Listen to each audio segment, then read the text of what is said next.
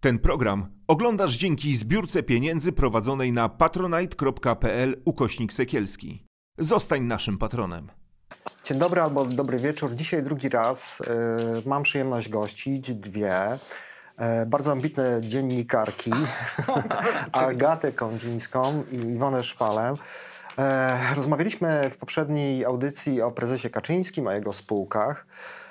Dzisiaj porozmawiamy sobie o topowej postaci, która nie schodzi, ale też za, za własną sprawą i Romana Imielskiego, ale też i innych dziennikarzy. E, też wiem, że kolega Figurski z Krakowa na ten temat pisał z Gazety Wyborczej. Na, wiadomo, o jakiej postaci mówimy. Mówimy o Danielu Obajtku. Jest dzisiaj z nami Cześka, Czenia?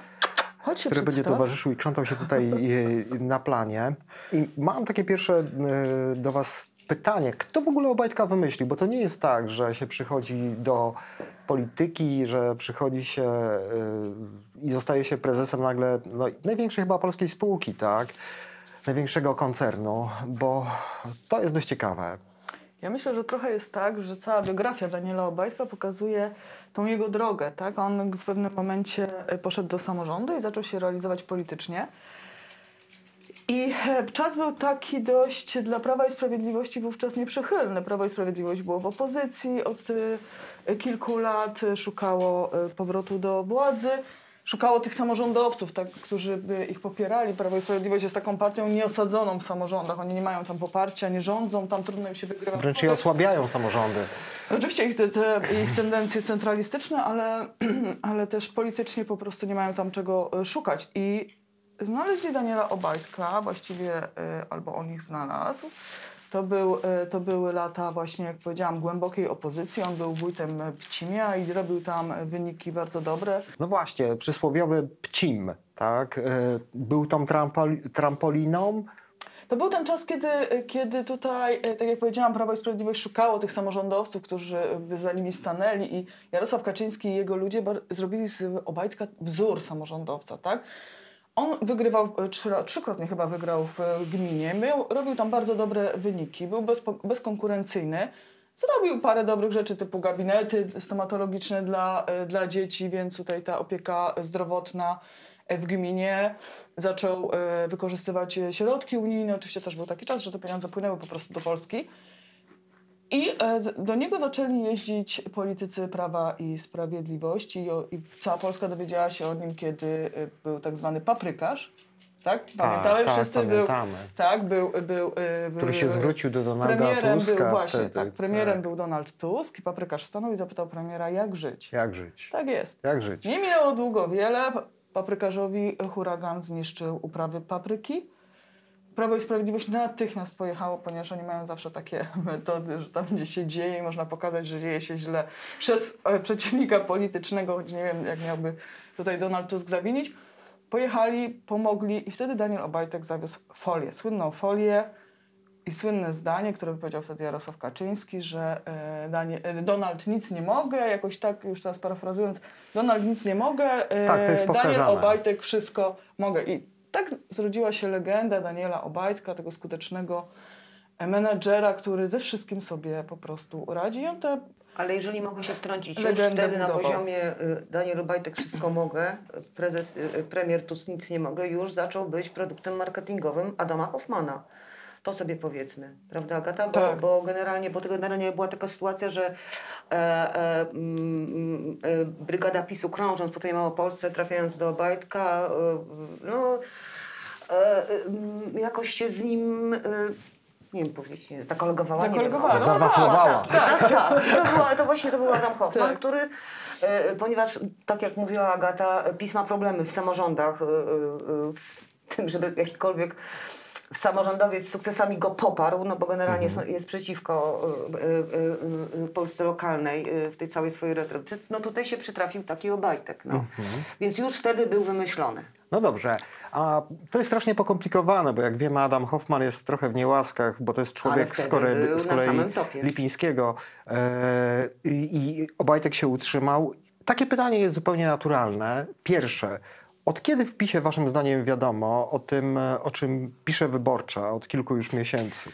Kiedy, jak to, od kiedy wiadomo? Wiadomo e, od momentów, kiedy e, Daniel Obajtek, znaczy Mówimy o, o czym? O nieruchomościach No, czy o o zatrzymaniach? i nieruchomościach, o zatrzymaniach, No, o o- zatrzymaniach wiadomo od 2013 13. roku. Tak, przepraszam, Mhm. mi się 11, 13 było. Jasne. Tak, e, 13 roku, kiedy po prostu no, mm, został zawieziony do prokuratury i wtedy natychmiastowo nastąpiła obrona. E, Mhm. I już od razu bez praktycznie żadnego sprawdzania e, kwitów, dokumentów, miesięcy pracy prokuratora, Jarosław Kaczyński i, Kaczyński i jego y, y, najbliżsi współpracownicy orzekli, że Daniel Obajtek jest niewinny, jest to wszystko zemsta polityczna poniżej wszelkiego poziomu, bo Daniel Obajtek przyznaje się do Prawa i Sprawiedliwości i ma sukcesy. Mhm. No dobrze, bo to są dwa jak gdyby segmenty wielkich tematów, które przetoczyły się przez media. Na początku to są te kwestie związane właśnie z tym, że on się nie potrafi chyba rozliczyć za bardzo z tym swoim majątkiem i o tym powiemy później. No ale też są sprawy prokuratorskie i one są grube, bo to nie są sprawy o jakieś, y, nie wiem, e, drobne, bo tam jest wprost mowa o grupie przestępczej, e, o ludziach, e, bo tam są dowody na to, że on się spotykał z szefem tej grupy e, przestępczej. Powiedzcie, jaki to jest kaliber tych spraw? O co tam chodzi? Znaczy ja myślę, że gdyby, gdyby to była postać z obozu przeciwnego y, dla Jarosława Kaczyńskiego, to my dzisiaj mielibyśmy festiwal albo nawet spektakl, cokolwiek, y, po, y, konferencji prasowych, oskarżeń ze strony Prawa i Sprawiedliwości. Myślę, że, że politycy PiSu rozjechaliby się po Polsce ro, y, na, i robili zdjęcia na, na tle tych 38 Tak. nieruchomości Daniela Obajtka. Natomiast prawda jest taka, że Daniel Obajtek powinien stanąć i wyjaśnić kilka rzeczy. Jarosław, Ka- po pierwsze te oskarżenia, o których ty powiedziałeś, oskarżenia. tak? Tak, te oskarżenia to dla Prawa i Sprawiedliwości to jest kłopot, ponieważ oni od początku powiedzieli, że Obajtek jest pomówiony, od początku osobiście poparł i poręczył za niego Jarosław Kaczyński, co oznacza, że jemu bardzo trudno jest przyznać do błędu, że on mógłby poręczyć za kogoś nie, nie zupełnie niepotrzebnie, że on nie trafił, tak? Że tutaj ta postać, na którą on postawił ten koń, no nie jedzie tak jak trzeba. Więc to jest y, jedna rzecz. No te oskarżenia są naszym zdaniem do weryfikacji. My nie wiemy, na ile one są poważne. To powinien usiąść prokurator, który w 2013 roku zaniósł akt oskarżenia do sądu y, w, y, w Ostrowie Po Strowie. Wielkopolskim, czy w Sieradzu, w Sieradzu, tak, w Sieradzu. Bo, bo my, no, my, czytałyśmy te, my czytałyśmy ten akt oskarżenia. Na nas to robi wrażenie. Widać, że ta praca jest udokumentowana, prokuratorska. Tam jest lista 60 świadków, którzy zostali e, przesłuchani, których zeznania miały być odczytane Do w sądzie. grupy przestępczej jakby, Tak, prawda? tak, bo, to, to, żeby szybciutko powiedzieć, tak było. W 2013 roku prokuratura w Ostrowie stawia akt oskarżenia ośmiu osobom. Cztery osoby to są osoby oskarżone o współdziałanie w grupie przestępczej. Wymuszają, biją, torturują, y, żądają pieniędzy od ludzi, y, straszą, grożą, nękają. To jest ta banda czterech. Trop z tej bandy czterech osób prowadzi między innymi do kolejnych czterech, wśród nich jest Daniel Obajtek. To jest trop, który prowadzi do prywatnej firmy, gdzie karierę swoją zaczynał Daniel Obajtek, a prokuratura uważa, prokurator uważa, że ta, y, że ta grupa przestępcza między innymi i ta czwórka pozostałych, żeby Państwo dobrze zrozumieli, robili szwindle i lewe interesy w, razem, okradając firmę, w której pracę zaczynał Daniel Obajtek i której, i w, tak, i w której pracował. Więc tak wygląda ten akt oskarżenia, który później Poczekaj, jeszcze powiedzmy, Znika. że przenosimy się Znaczy jest potem do... cofnięty, to jest taka nowa jeszcze, procedura. Tak, przenosimy się y, dekadę bodajże, tak? To ile, ile lat? Po, po, po, już jest kilka lat, kiedy on już jest burmistrzem, e, przepraszam, wójtem Pcimia. Mhm. E, ten herszt bandy przypomina sobie o nim. I, Ach, tak, bo ja i- zapomniałam tak, drugim. I próbuje rzucie. e, wyciągnąć jeszcze coś z tej znajomości, która według prokuratury no, w poprzednich latach była naprawdę taka no, dość opłacalna. I teraz wymyślił sobie, y, że Daniel Obajtek jako wójt będzie ustawiał dla niego przetargi. E, I akurat jest tak, że jest bardzo duży przetarg I odcinał sobie z tego kupon po kilkadziesiąt tysięcy złotych z tego, co ja z pamiętam. tam przetargów. Nie, nie, nie, nie. No jak wygra, to nie, nie, dostanie nie. Jak wygra, to nie wiadomo, co miało być. Generalnie tak. prezes, y, znaczy Maciej C, pseudonim prezes, bo to jest Mhm. y, taki pseudonim tego Gang- Gangusa, e, mm, każe swojemu człowiekowi zawieźć do wójta mm, kopertę z 50 tysiącami złotych jako zaliczkę, y, a konto y, tego, żeby on mógł wygrać ten przetarg. Nie wiemy, co tam się wydarzyło, co, co ustalali, bo y, te- tego, tego nie mamy dostępu. No, ale wiadomo, że przetargi zostały przez Macieja C. Dwa przetargi tak naprawdę na tą samą inwestycję przegrane.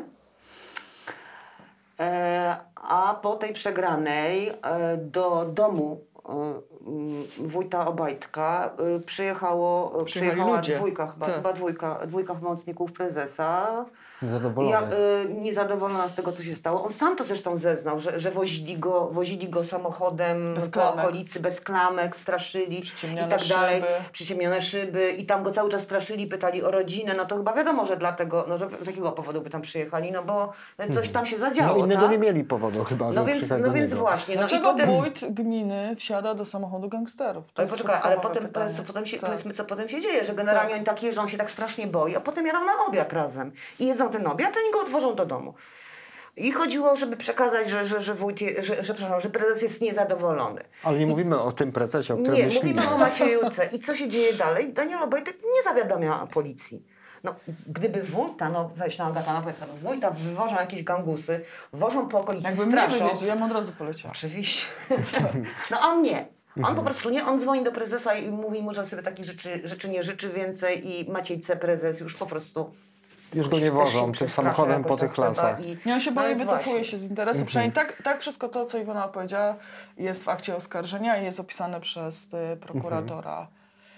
I tam jest zarzut, właśnie y, Obajtek dostaje dwa zarzuty. Oszustwa wujka, właśnie tej firmy i y, łapówki. Tak jest. Ja rozumiem, że ten prokurator, który przygotował to oskarżenie, zostaje w tym momencie od tego śledztwa e, odsunięty i nie prowadzi już tego postępowania. To w pewnym momencie się dzieje, to nie od razu. Tak, tak, tak, bo te koleje tych y, papierów też są y, przedziwne. Tu na każdym etapie później zaczyna się już taki związek z prawem i sprawiedliwością. Y, Powiedziałabym, no y, Obajtek, y, Obajtek, y, to, że on ma zarzuty, nie, na nikim nie robi wrażenia w Prawie i Sprawiedliwości, ponieważ Jarosław Kaczyński robi y, teatralną konferencję, na której y, Obajtek y, siedzi, go zatrzymują, tak? Ta cała ósemka y, jest zawinięta i ma wnioski o tymczasowy areszt i to dotyczy też Obajtka. Ale sąd nie utrzymuje tego aresztu i po prostu zwalnia, się, zwalnia tak, nie go, zwalnia go. I, I to jest dzisiaj też e, głównym jakby argumentem, że po prostu sąd, e, że sąd... Standardowa procedura, tak, prawda, Że to, tak, się- że sąd e, go wypuścił, w związku z tym tutaj nic nie było i tak dalej, a to przecież tak nie jest, bo sąd może się przychylić do wniosku prokuratury albo ten wniosek po prostu odrzucić. Natomiast e, e, ważniejsze jest to, że to, czego Prawo i Sprawiedliwość nie mówi, że tak jak e, napisze nasza koleżanka Ewa Iwanowa, 98% aktów oskarżenia, które decydują się wnieść prokuratorzy do sądu, po prostu kończy się skazaniami. Więc e, tutaj dziś, dziś linia obrony jest taka, że Daniel Obajtek został e, pomówiony. Dlaczego? Dlaczego, Tak, to my sobie od początku zadajemy to pytanie, tak, dlaczego ktoś wylosował, ktoś wylosował e, Daniela Obajtka, wyciągnął ze szklanej kuli z kilkuset tysięcy, gm- z kilkuset gmin w Polsce, akurat tego wójta? I akurat jego postanowił oskarżyć. Więc no to są pytania, To my, są- b- to- pytania, to- które też stawiałyśmy, Może to stawiałyśmy już, Danielowi Obajtkowi. może to ale już jacyś wrogowie odpowiedzi. Orlenu antycypowali, co Nie- będzie dalej. A, nie, nie, nie, to, no, to wiesz, no to możemy dobrze, ale- spiskowymi, tak. To, Nie, tak, jasne, Wiesz, ale, ale no, sobie jest to pytanie tak naprawdę na Jasne, poważnie. jasne. No. E, Bo Dla ale- mnie to się sypie w Tak. tym momencie. No tak, ale trudno słuchać na poważnie takiego wyjaśnienia na przykład dewelopera, y, który sprzedaje mu z milionową zniżką e, mieszkanie tutaj w Warszawie. Zresztą tam chyba y, jego polityczny protektor Adam Hoffman też ma tam jakąś nieruchomość i tłumaczy to w ten sposób, że to jest Żona. mieszkanie od ulicy, tak? No to Tak, z widokiem na trasę ulicy, S8 poczekaj, i to tam są nie ma e, ekranów Dokładnie, to S8. są No, osiem. naprawdę. No, po prostu koszmar tam żyć. No i Ja potem się okazuje, i potem się 187 okazuje, że, że ten deweloper, deweloper, który jest sponsorem, e, e, znaczy właścicielem, sponsorem jakiejś drużyny e, piłkarskiej, e, otrzymuje, to znaczy no, klub, który, który, który, który, który Czwartoligowa, jakoś tak to czwartoligową specjalność, otrzyma jakieś specjalność pieniądze. Nie? Jest taka tutaj, e, tak. po prostu e, koherencja. Ale mam pytanie takie, bo mm, ja rozumiem, że w, w, w Prawie i Sprawiedliwości o kwestiach związanych z zarzutami i tak dalej no, mm, było wiadomo już od dawna, tak? Tak, od początku. A jeśli chodzi o te nieruchomości, nie macie takiego wrażenia, że w pewnym momencie Prawo i Sprawiedliwość zostało przerażone tym, jaka to jest skala, że to jest 38 e, Ale to nieruchomości. chyba nie, no, Ale pewno nikt nie był zadowolony z tego, Tak, że, że, Myślę, że zaskoczeni mogą. No tak, a co się mówi na są. mieście? Co mówią to wasi rozmówcy? robi, prawda? Co- co- co- 38 nieruchomości. No, no To są właśnie. Ale co mówią Oligarcha. wasi rozmówcy, wasze źródła? Jak na to y, zapatruje się PiS? Czy tam czekają, że premier, y, prezes wciśnie jakiś przycisk i powie kasujemy gościa? Czy też tak jak gdzieś wyczytałem, Obajtek dostał czas, żeby się wyczyścić? Jedno nie wyklucza drugiego, Tak bo y, zawsze ostatnią, de, ostateczną decyzję podejmie Jarosław Kaczyński i wciśnie ten guzik, o którym powiedziałeś, albo nie. Natomiast pytanie jest, kiedy, kiedy to zrobi. Dał Obajtkowi czas, bo ewidentnie y, było tak, że y, Obajtek był... Y, w, po prostu odpowiadał, wysyłał oświadczenia po publikacjach Gazety Wyborczej i to było wszystko. Teraz przeszedł do ofensywy, tak? ujawnił majątek swój, z, z, prosił wybranych wybranych dziennikarzy, redakcji. Wybranych dziennikarzy i wybrane redakcje, no pomijając Gazetę Wyborczą, która akurat pisze o tych sprawach od początku, Tak. e, żebyśmy być może nie mieli zbyt dużej wiedzy porównując te dokumenty, nie wiem dlaczego. No w każdym razie pominął Gazetę Wyborczą i sprosił dziennikarzy, pokazał swój majątek, pokazał PIT-y, nie, e, swoje oświadczenia majątkowe i tak dalej. I teraz tak, e, zaczyna walczyć, tak? Wyszedł i walczy, to widać. Natomiast to, co nasi rozmówcy mówią, to na pewno jest tak, po pierwsze skala nieruchomości. Nikt się nie spodziewał, że on ma tak dużo. Po drugie, wrażenie w Prawie Sprawiedliwości robi, robią też te historie pożyczkowo-rodzinne, bo tu okazuje się, że po prostu cała rodzina... mm, Pożycza sobie nawzajem pieniądze. Tak, tak. I, I bardzo inwestowała w syna Daniela, no trochę mniej może w Bartłomieja, chociaż oni też żonglowali pomiędzy też sobą. Tak. poradził, No ale teraz ten majątek wędruje między dom. matkę, I trzecia brata. rzecz, która robi wrażenie w Prawie i Sprawiedliwości, której, do, co do której oni nie mieli chyba takiej świadomości, jak powiedzieli, to jest ta pańczyna ludzi, którzy coś zawdzięczają Obajtkowi i których on za sobą Bardzo mądrze. e, winduje. Tak, czyli na przykład, że szefową grupy Lotos jest była księgowa firmy, w której zaczynał e, pracować No, Daniel. Obajtek, dokładnie z Pcimia, pani z Elektroplastu.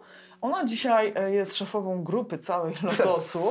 On robi fuzję Lotosu z Orlenem, to już takie sprawy gospodarcze, nawet no, nie wiem, czy to można powiedzieć, że fuzja po prostu wchłonie przecież tę spółkę. Tak. I, e, i, e, I ma tam swoją osobę, tak? W zarządzie są ludzie, w Orlenie są ludzie z nim również od niego gdzieś tam wcześniej zależni, którym on coś zawdzięczał. Jak przechodził przez Agencję Restrukturyzacji i Modernizacji, przez Energię i tak dalej, i tak.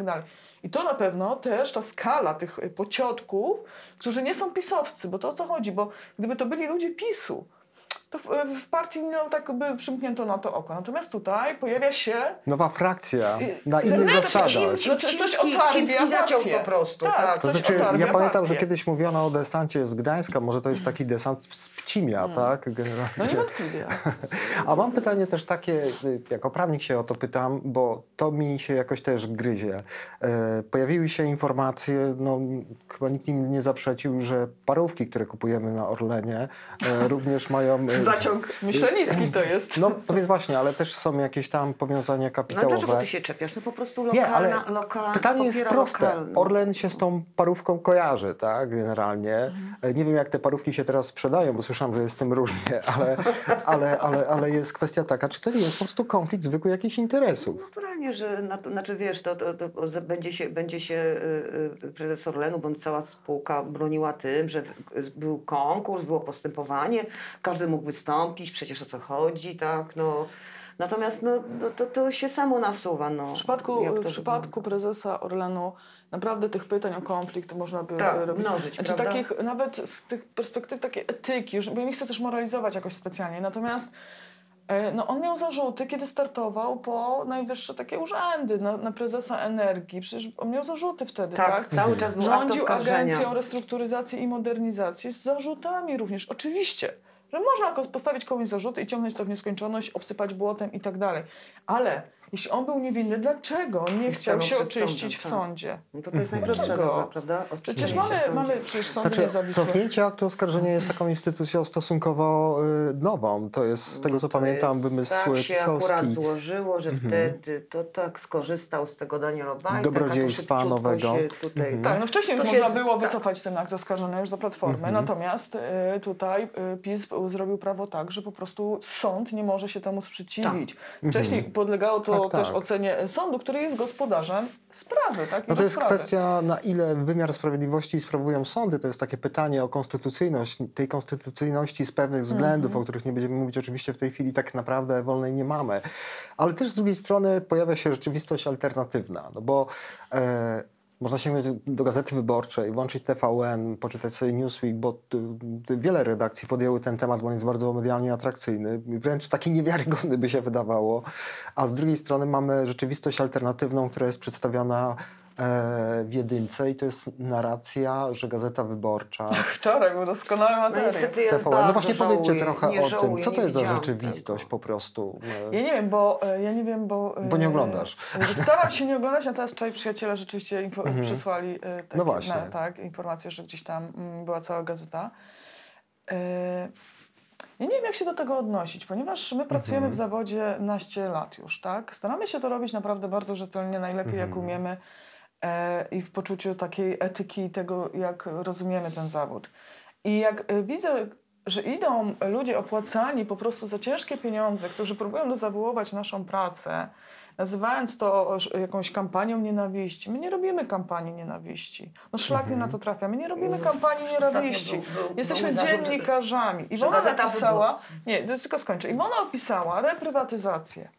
I czy to się Platformie podobało, czy to się nie podobało, Gazeta Wyborcza zawsze i wszędzie będzie stała na straży takich wartości, e, które będziemy napiętnować u władzy to, co nam się nie podoba, tak? Jeżeli to jest e, złe. No kwestia warszawskiej, tym bardzo brzydkiej. To, Ale to tak. były, była tam afera, była, przecież poszło siedzieć bardzo dużo osób. Były komisje, Prawo i Sprawiedliwość później No się Boże. pasło na jej To było temacie i tak dalej. było bardzo Oczywiście. mocno. Ale robienie zarzutu Gazecie Wyborczej, no tak jak tutaj siedzimy, Mhm. i potem napisała też dwie wieże Kaczyńskiego. To, co, co ona ma robić? Nie opisywać, że my oglądamy w wiadomościach teraz, że my robimy atak nienawiści. No to no dość, naprawdę dość. Powinniśmy się zastanowić, Nie, no, czy nie, to pozy- nie zacząć ich pozywać po pytanie, prostu o to. No z tego co wiem, póki co to pozwy jakieś Nie, no tam... Agata miała, znaczy, miała pytanie o to, dlaczego oskarża, dlaczego Gazeta Wyborcza oskarża yy, Daniela Obajtka. Mhm. Opisałyśmy akt oskarżenia i to my oskarżamy, tak, a nie prokurator. Nie, nie, nie, to jest tak sprzedawane. No co można z tym zrobić? No to, to, to Mhm. no, rzeczywiście można się bronić w sądach, ale to... Nie, trzeba atakować w sądach, a nie bronić się, bo na przykład w tym materiale w wiadomościach była taka sugestia, Mhm. bo przecież nasz kolega Harukowicz pisał o działkach y, Mateusza Premiera Morawieckiego, Morawieckiego, tak? I do Gazeta, Wrocław. tak jest, Gazeta Wyborcza do dzisiaj nie dostała pozwu, a była sugestia, że Gazeta Wyborcza po postraszeniu pozwem przestała temat kontynuować oraz, że do sprawy wrócimy, bo, do, bo A, jeszcze się okej. proces nie rozpoczął. Tak? Aha. O, dobra, Więc no, dobra, no dobra. to są manipulacje, insynuacje, przekłamania i naprawdę bierzemy słowo, odpowiedzialność za każde słowo, które Chciałam publikujemy w gazecie wiersz też, wy- prezes-. Że ja mam w ogóle wrażenie, że Prawo Sprawiedliwość w tych wszystkich y, m, przypadkach, o których mówicie, dwóch wież, y, działek Morawieckiego, y, poddało się w sprawie szefaniku, bo tam rzeczywiście to był gruby materiał y, TVN, No tak, no, po jednak obraz- sprawa obyczajowa. zrobił. Ale oni nie mieli Bardzo- narzędzia. Nie mieli narzędzia, oni nie mogą go zmienić. Ja rozumiem, Nie mają ale w tych po pozostałych prostu. przypadkach e, ten Tak. ele- elektorat, też stwierdzam to smutkiem, jest zupełnie teflonowy na to. Może to jest rzeczywiście tak, że oni przećwiczyli sobie to już kilka razy i mówią, no nic nam nie zrobią tego typu afery po prostu, bo my przedstawimy tą rzeczywistość i ubierzemy ją w jakąś narrację, nie wiem, walki medialnej o koncern, czepiania się e, człowieka i, i my zawsze po prostu na tym wygramy. Wiesz co, ja ci powiem tak, y, ja generalnie bardzo nie lubię stawiania tak sprawy, że elektorat PiSu jest y, teflonowy i w ogóle to tak druga, drugie zdanie mi się zaraz potem wydaje, to po co wy to piszecie? Ja uważam, Nie, że naszą, tak wiesz, ja że naszą rolą to, znaczy to my powinniśmy to robić i, Nie, i to jest te- sedno dziennikarstwa. Mhm, jasne.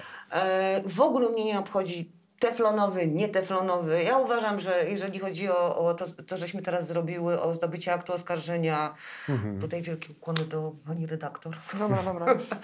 I, y, I za ten, i, i za zdobycie innych dokumentów, no to to fajną robotę zrobiłyśmy po prostu. Jasne, ja nie o to I, y, pytam. I uważam, że nasi koledzy również y, robią fajną robotę, a wiesz, no, czy ja, ja mam takie wrażenie, czy naprawdę osoby, y, bo w ogóle generalnie teraz, jak o nas piszą, że to funkcjonariusze, jak to, nie, pracownicy, pracownicy y, y, Gazety Wyborczej czy koncernu Agora. Znaczy wiesz, No. naprawdę, ja polecam wszystkim, y, znaczy tym najbardziej takim zapalczywym dziennikarzom po prawej stronie, którzy jadą na wyborczą, żeby chociaż zrobili, przepraszam, żeby zrobili chociaż jedno, jedno fajne śledztwo, zobaczą jaką będą mieli satysfakcję. E, bo to jest naprawdę wielka satysfakcja. Nie patrzyli naprawdę, to teraz po prostu Znaczy- gadam głupoty, tak? Ale, ale to naprawdę... Nie, e, to znaczy to nie e, budzi wątpliwości, że jednak wiesz, y, to zbierze swoje żniwo pod- i zbiera. No, nie byłoby tych nerwowych ruchów, konferencji prasowych, a, a A- groźby pozwami tak. i tak dalej, gdyby Ale nie to. ja rozumiem, o co ci chodzi, że i myślę, że ten teflonowy elektorat, że są afery, jedna, druga, a PiS dalej ma władzę, dalej wygrywa, ludzie im wierzą i dalej się trzyma wysoko, tak? Y, No myślę, że po to są te media. Y, Zmroziło mnie, kiedy dzisiaj przeczytałam, że Rzeczpospolita jest na sprzedaż. Żartujesz? Tak, i parkiet, więc, y, bo zdecydowali się tam. No, jestem przerażona, bo, bo telewi- bo dopóki oni mają w, w polityce, umówmy się, to jest niszowy w ogóle portal, naprawdę bracia, przepraszam, ale tutaj nie, nie zrobicie kariery na rynku medialnym. Nie, niezależna.pl, Sakiewicz, to, są, to jest wszystko niszowe. No, to Tego jest nikt nie... Tak, to jest, to jest dokładnie, to nie nadaje. Rzeczpospolita to już jest tytuł, prawda? Teraz to, co zrobił y, Orlen i kupił y, redakcję Regionalne. e, tak, z grupy Polska Press. E, to też są już tytuły, lokalnie często bardzo mocne tytuły. Telewizja publiczna nadal jest marką, mimo że oni tę markę zniszczyli. Kiedy przejęli, kiedy nie ma tam dziennikarzy, kiedy wyrzucili dziennikarzy i wsadzili funkcjonariuszy e, pisowskiej władzy. Zniszczyli tą, e, tę markę, na, nadal jednak w świadomości wielu ludzi ona istnieje i funkcjonuje. To jest ten odpór. Dzięki temu Prawo i Sprawiedliwość po prostu. Tak. Przecież oni biorą każdy artykuł i, i przekładają kota ogonem, odwracają. Ja, ja się zastanawiam, jak można robić takie sztuczki. Czy ta akrobatyka jest w ogóle możliwa? No, ja nie wiem, no chyba. No, Ale Ty wydaje mi byś się, tak nie że umiała, nie? Nie. No, że to nędza. pokazuje, że- Nędza. Nie No. się. To pokazuje, no. że wszystko jest u nas może postawione y, na głowie i może to jest, jest, jest też tak, jak mówi wasz szef Jarosław Kurski, że Obajtek nie jest absolutnie żadnym wypadkiem e, przy pracy, ale to jest pewna logika właśnie szukania takiego e, człowieka. Bo tutaj wracamy do tej naszej rozmowy poprzedniej o Jarosławie Kaczyńskim, że on po prostu, e, tacy ludzie nie są dla niego zagrożeniem. I że robi to z pełną świadomością, że się takimi ludźmi otacza. no tak i nie, nie? Tak, ja też tak uważam, że i tak i nie. Myślę, że, że e, jasne, że Prawo i Sprawiedliwość wiedziało o Danielu Obajtku, a może nikt nie dopytał, może wtedy był, wtedy kiedy się to wszystko wydarzało, kiedy był zatrzymywany, może to, to, to po prostu postanowili tak PR-owo sprzedać, bo im to się, e, bo to im było potrzebne, no to, to Myślę, że jednak e, osta po ostatnim miesiącu też jest tam dużo zdziwień. E, e, tym bardziej, że no, to, to no, mówię, no, jednak te czter, prawie 40 nieruchomości no, nie może robić na nikim wrażenia. A też trzeba Nie no. pamiętać, że w Prawie i Sprawiedliwości dużo jest takich ludzi, którzy nie lubią, prawda? Jak ktoś tam Za- za podskakuje bardzo za bardzo. Tak, szczęściem Tak. Obajtka jest to, że jest bardziej menedżerem, tak, pisowskim niż politykiem, bo gdyby był y, osobą z Nowogrodzkiej, no to myślę, że miałby o wiele większe kłopoty. No tak, to jest taka transakcja trochę wiązana, bo z jednej strony y, Jarosław Kaczyński wyciąga kogoś z Pcimia, wynosi go na urzędy, na posady, awansuje bardzo y, wysoko, ale z drugiej strony ten ktoś dowozi mu to, czego on oczekuje. Przynosi mu prasę, którą kupił. Jak opowiadali nam politycy PiSu, wcześniej przychodzili y, inni i mówili prezesie już, za chwilę, Tak. już za momencik, już kończymy, przybijemy, transakcja Tak zaraz jest. będzie. Nie było. A Kaczyński czekał, czekał, czekał i się nie doczekał. Przyszedł Obajtek, kupił, kupił. Znaczy dobrze zainwestował Miał być, miał być Lotos i Orlen człowieka. od dawna zrobiony. Przecież tam e, w, w siedzibie płockiej e, lot, Orlenu jest jakaś figurka czy obraz, już nie pomnę teraz, Tak.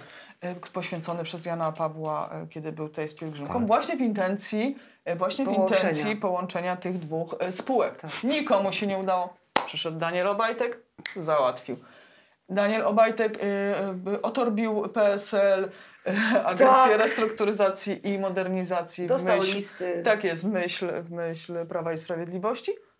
Zostali zwolnieni ci ludzie i stracili Czyli pracę, tak? po prostu to jest... Transakcja jest związana. Rozumiem. Obajtek dostaje milionowe wynagrodzenia jako prezes. Przecież on był szefem ra- w Radzie Nadzorczej e, biopaliwa, Lotosu, Lotos. biopaliwa i miał najwyższe, jedno z najwyższych wynagrodzeń, pisał Many.pl. 30 tysięcy i to było niespotykane, Brawo, niespotykane wynagrodzenie w Radzie Nadzorczej.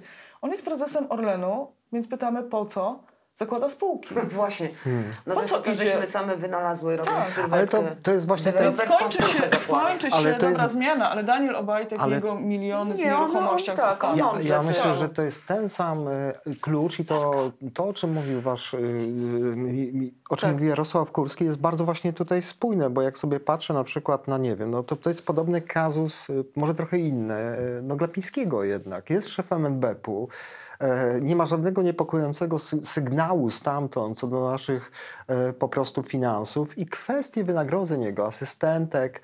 E, ja czytałem ostatnio w polityce jakichś e, dziwnych ludzi, którzy się tam pojawiają Mhm. i są e, po prostu na etatach, e, no, są po prostu poza zasięgiem jakiejkolwiek kontroli, nikt nie robi z tego żadnego problemu. Czyli po prostu doradcy, tak? tak Doradcy, tak myślę o tych Ania doradcach, Dąbrowska, którzy tak. po prostu jak już nie mają gdzieś pensji, no tak e, pisała przynajmniej polityka, Tak, to tam znajdują e, miękkie lądowanie, więc w tym szaleństwie jest e, metoda. I Tak. nie tylko chodzi o to, że ktoś jest gdzieś tam umoczony czy skompromitowany, ale właśnie, że jest skuteczny i to jest ta cena, którą się płaci za to.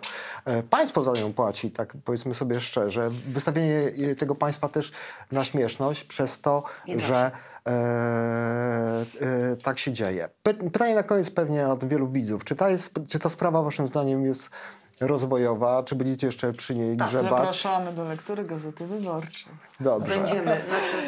A ja- Wszystkich Państwa. A ja nieustannie zapraszam do subskrybowania naszego kanału. E, świetna praca dziennikarek Gazety Wyborczej. Iwona Szpala i Agata Kądzińska. Myślę, że nie ostatni raz już. E, czy będzie znowu trafione, zatopione? E, zobaczymy. Póki co czekamy e, na następne wasze teksty. E, no i miejmy nadzieję, że No spotkamy się za trzecim razem. trzeba Tak, tak, że koledzy, to, to cały zespół. Tak, no przede tutaj. wszystkim chyba Roman Imielski jest takim moderatorem tej No, waszej Roman pracy. Imielski, tak, to jest, Mhm. on jest moderatorem, natomiast no, trzeba pamiętać o kolegach z Z Krakowa, Krakowa właśnie, Tak. o, tak, o Paweł Figurskim Figurski. i o Sidorowiczu. Tak. o, o Tak. Katce, o koledze, O koledze Katce, Katce z Gdańska, która zrobiła Ewie tak. Iwanowej, która, FC naszej kochanej, tak. która e, odpowiada w naszym imieniu na takie podziękowania wszystkie, Oscarowe, tak. tak, na wszystkie oszczerstwa, Tak. które nas spotykają i rozprawia się No z różnymi oświadczeniami od prokuratury krajowej Tak poprzez jest. Sąd Najwyższy. Kłaniam się zatem nisko i zapraszam do ogłoszenia naszych następnych, do oglądania, ogłaszania, udostępniania naszych lepszych e, audycji, do wspierania też e, kanału e, Sekielski Brothers. To jest telewizja obywatelska, która e, działa mm, dzięki Wam przede wszystkim. Wszystkiego dobrego, trzymajcie się zdrowo. Ten program oglądałeś dzięki zbiórce pieniędzy prowadzonej na patronite.pl ukośnik Sekielski. Zostań naszym patronem.